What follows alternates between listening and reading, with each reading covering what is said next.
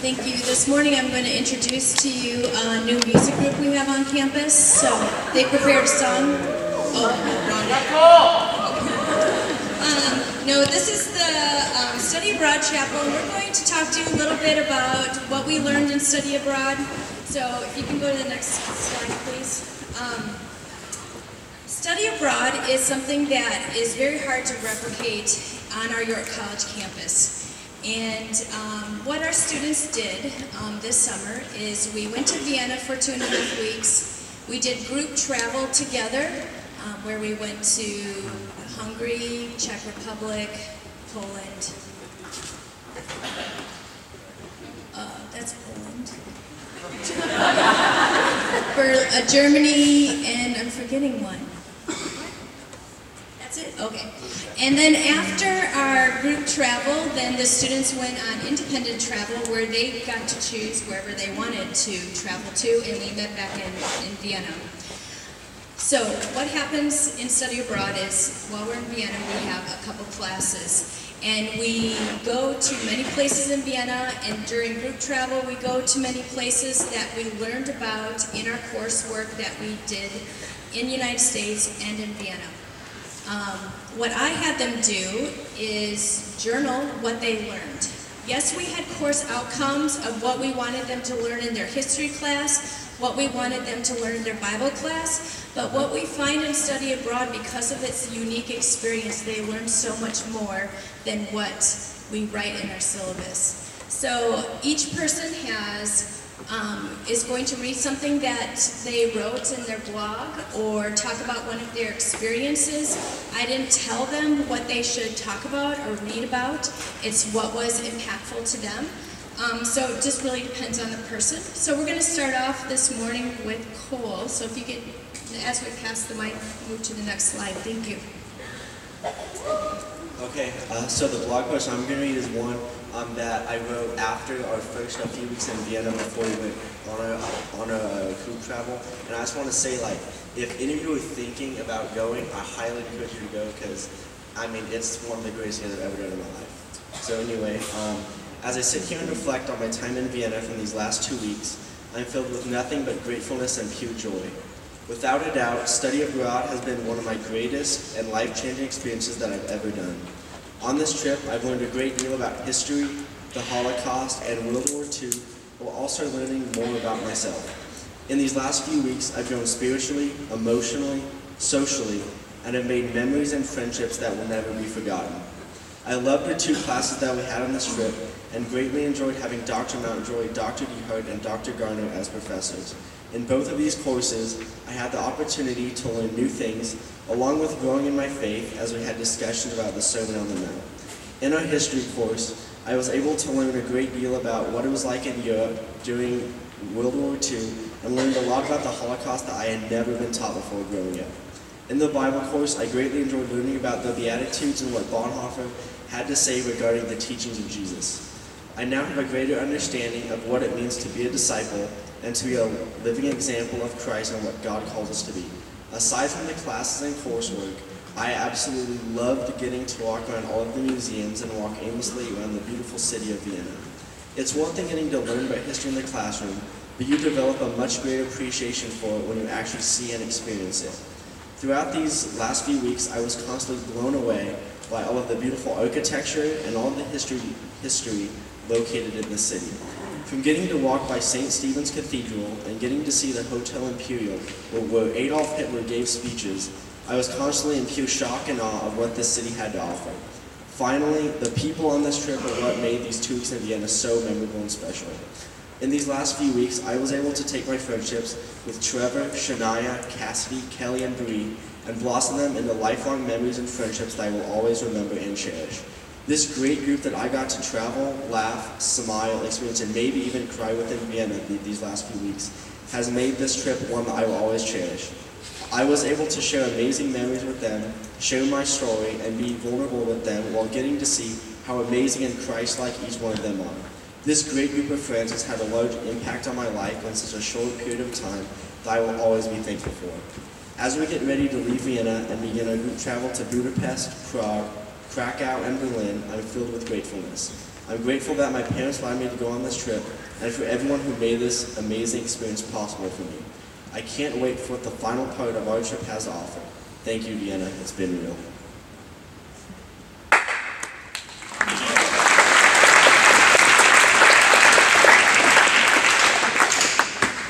Um, okay. First of all, I just like to say that Vienna is. Like, there's so many amazing things to see in Vienna, and it's just wonderful. Uh, but there is a bit of a darker side to Vienna that I don't really get to experience around here, and that I never got to experience at home. So I'm just going to talk a little bit about um, one of my blog posts that I wrote. Um, during our free days this past weekend, I encountered a situation that pushed me far outside of my comfort zone. Coming from a rural village of 650 people, I have very little experience with homeless people and beggars, so coming to a large city packed with such people was shocking. This weekend's event was more than just witnessing people performing or laying in the streets, however, and what followed was like, would likely be ingrained in my mind for a long time. After an encounter with a drunken man at a bratwurst stand, a few friends and I sat against the wall of St. Stephen's Cathedral, waiting for it to open for tourists so we could see the catacombs. It was Sunday, and a mass was being held until 1 o'clock that afternoon. We conversed casually, and, have, and having finished our bratwursts, we were sharing some dark chocolate and watching the people of Vienna pass us by. One man, however, stopped right in front of us. He started at one end of the line we'd made against the cathedral wall and held out his hands, asking for money. One by one we refused, and as he reached me, I shook my head in a similar fashion, saying, I'm sorry. But he didn't stop there. He held out his hands three more times, switching from bitte to please, once he heard that I spoke English. I stared at the one euro coin he was holding and lowered my head, gazing at my purse. I was lost in thought. What was I doing? Could I trust this man with my money? How did I know he wasn't going to use it for something like drugs or cigarettes? How did I know he wasn't he was a beggar at all? Maybe he was just trying to scam a few euros out of unsuspecting tourists. A knot in my stomach urged me to make a decision. A voice in my head asked, What right have I to mistrust this man that I don't even know? He could be starving, and because of that, I need to take the chance and help him. I recalled a phrase we discussed in our Bible class this spring, give until it hurts. Yet something held me back. He was still standing in front of me, hands extended downwards to where I sat against the wall, so I raised my head to meet his gaze. Tell me your story, I implored. I have been in jail three times because of drugs. His response was immediate. Please, help me. I reconsidered him now that I had this information. Did he wish to change? How did I know my money wouldn't be used to buy more drugs that could very well land him in jail for a fourth time? I wanted to help him, but I needed to make sure my money went towards a good cause. I asked him, Are you hungry? He confirmed that he was. Would you like me to buy you some food? I was a bit hesitant asking this because I didn't know if taking him to a food vendor would be a good idea. But I figured if I bought him some food, maybe I could talk to him more and find some other way to help him. However, his, ne his next response was to shake his head. No, just money, he said, still pleading with me. I drew the line there. I'm sorry, I muttered, lowering my head again. He went away immediately. My friends may have applauded my effort, but after the encounter, a twinge of guilt made its home in my stomach. It was likely, sure, that the man only wanted money to use for drugs, but how many of the homeless beggars had the same intentions? Why was it that I only offered to help the ones who had asked it of me four times? Were not the people in rags laying on the streets just as worthy of my help and money? I don't have the answers. We are asked not to make a show of how gracious we are, yet the only opportunities I have to help these people are in the open streets. And there's no way I can help all of them, no way to know which ones actually needed to be helped. I do know that the best way to help someone is to talk to them first. Maybe I would have been pressured into handing over a coin or two if I hadn't asked the man about his story. But then again, who am I to judge whether or not someone else deserves to be helped? I suppose if I can only help a few of these people, it must be the ones who need help the most. And the only way to know which ones need it the most is to talk to them. I suppose the moral of my story is this. Talk to those in need. If nothing else, you can give them a good conversation.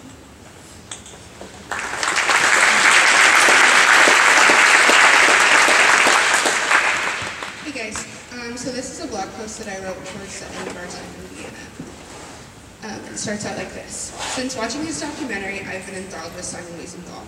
He stood for justice, for remembrance, and for love. As I shared in class, the concept of, forgive, of forgiveness is something that I've always struggled with. And my father's daughter in all aspects, and completely cutting people out of my life when they have hurt me is something that I've always done best, for lack of better terms. After being hurt a few times, I just found it easier to distance myself from all emotions, mine and the other person's included. Not a healthy practice, I admit, but one that worked well for me for a very long time. But then we started to study The Sunflower by Simon Wiesenthal, and my earth was kind of shattered. His motivation to expose the Nazis wasn't hatred, but to make a better tomorrow. He said, My cause was justice, not vengeance. My work is for a better tomorrow and a more secure future for our children and grandchildren. Just wow. I know personally I have acted out of hatred. I have said things about people and done things that did not reflect my heart, but more so my hurt. That was the opposite for Simon. After liberation, he chose to use his life as a way to better the people around him and to hold the people who caused so much hurt accountable. For that, I have more respect and admiration for him than anyone else. One of the greatest lessons I have learned lately is holding on to hatred will never serve you or your creator. And after all, that is our main goal on this earth, to serve the one who made the galaxies and each of us. Hatred holds no place in his heart, so it will not take any place in mine. If there's one thing that I can tell you guys, it's please just say yes. Say yes to this experience. You know, money might be an issue, but I guarantee you the money will find you. You won't have to search that hard for it. Um, you know, sometimes in our lives there's like those little things that we say, like the Holy Spirit. That was the Holy Spirit. I'm pretty sure the Holy Spirit paid my first deposit because I probably blacked out when it happened. but just like, please just say yes because you'll be changed for the better forever.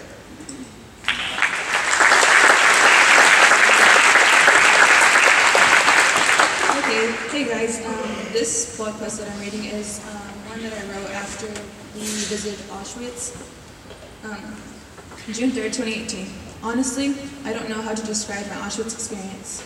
I've been thinking about it for days and days and my mind is almost blank. Before even going to this place, I had been trying to prepare myself because I knew that once I got there, I was going to lose it. And that I did. Being there made me feel uncomfortable. I was upset and nervous at the same time. The rooms, the buildings, and the watchtowers were all so real to me, as if we were going to relive it. The room with piles and piles of hair made me bawl. It reminded me that girls my age were once treated like absolute crap and had their beauty stripped from them. When I was crying, it made me think of a memory from back in middle school, which was when we watched Anne Frank movie in class, and at the end, me and my friends were crying. And I remember asking my teacher the question, why? Why would they do those things to her? Until this day, I still wanted to know. Being there in that room with all that hair made me question, why? I know they were Jews, I get that, but they were also people too, human beings with loving and beautiful hearts, whose population was close to being wiped out.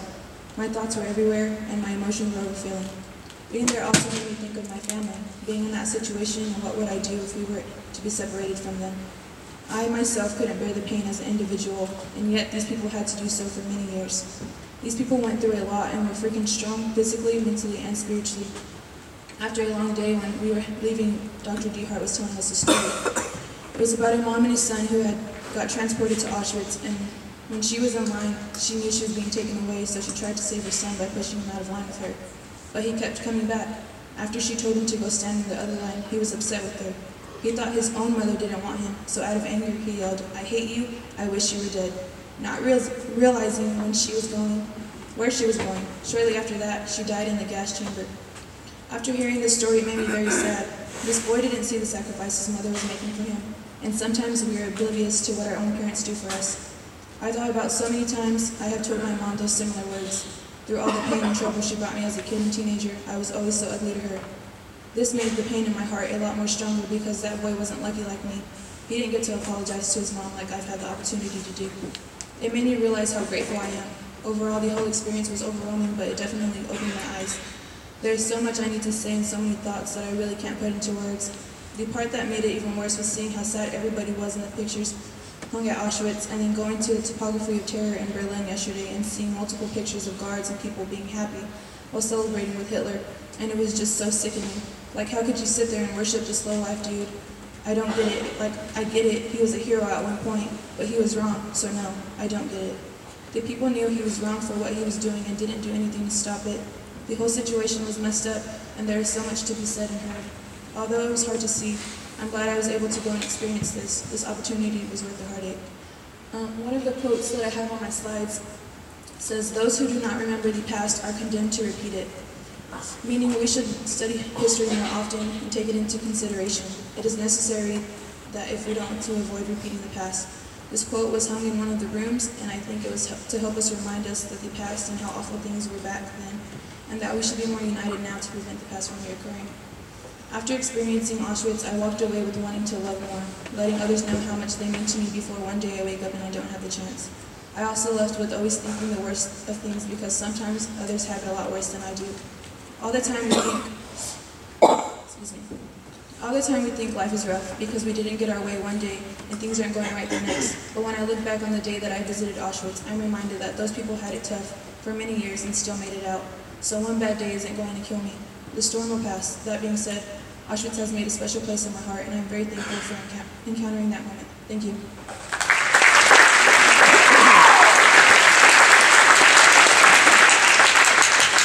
I think Amalia's gone today, so we can go next one. Our next person, I'm pretty sure Trevor did this in his car on the way to student teaching this morning, so here's Trevor.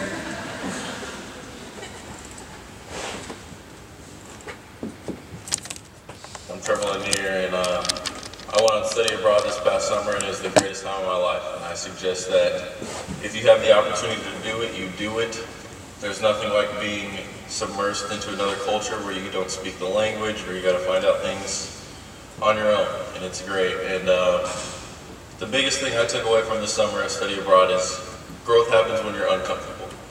And being in another country, like I just mentioned, will make you very uncomfortable. And I feel like that's what God does when He puts us in challenging situations.